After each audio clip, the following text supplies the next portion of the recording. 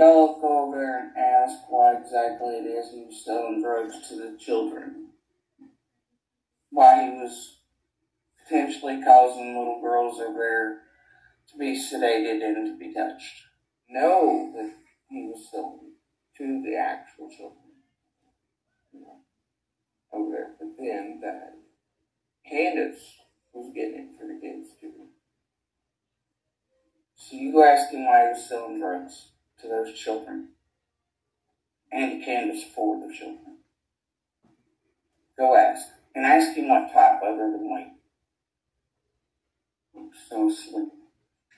Jodi Sue also said that Andy knew Summer was being beaten and that he saw signs of SA.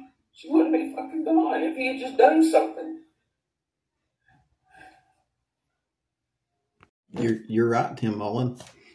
Don and Candus desperately need a defense attorney.